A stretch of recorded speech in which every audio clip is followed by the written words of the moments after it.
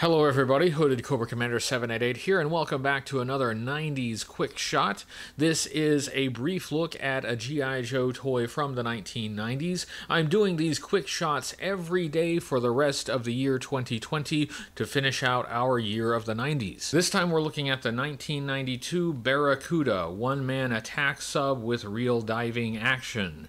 This vehicle may make you think of the song Barracuda by the band Heart, at least it should. Don't be heartless. G.I. Joe didn't have many submarines. One of the rare examples is the flying submarine The SHARC from 1984. The Barracuda is primarily blue and black with yellow highlights. It includes three yellow torpedoes, two of which can be stored in these slots up in the front, and one can be fired from this launcher in the back. Remove the top section to reveal space for one action figure.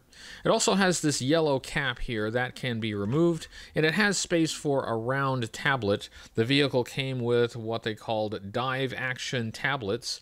They were made of baking powder, and they would cause the sub to dive underwater and then rise back to the surface. Putting the cap back on takes a little effort, but it will snap back on there. This would be a great vehicle for Torpedo or Wetsuit or one of G.I. Joe's other naval characters. There's a variation on the Barracuda. Some examples had the blue and black colors reversed, so the parts that were black are instead blue, and the parts that were blue are instead black. That was my quick quick look at the 1992 Barracuda. I hope you enjoyed it. This will eventually get a full review on my channel, and we will see if it can still dive like it used to. If you liked this video, please give it a thumbs up on YouTube and subscribe to the YouTube channel for G.I. Joe toy reviews. I'll be back tomorrow with another quick shot of a 1990s G.I. Joe toy. Until then, remember, only G.I. Joe is G.I. Joe.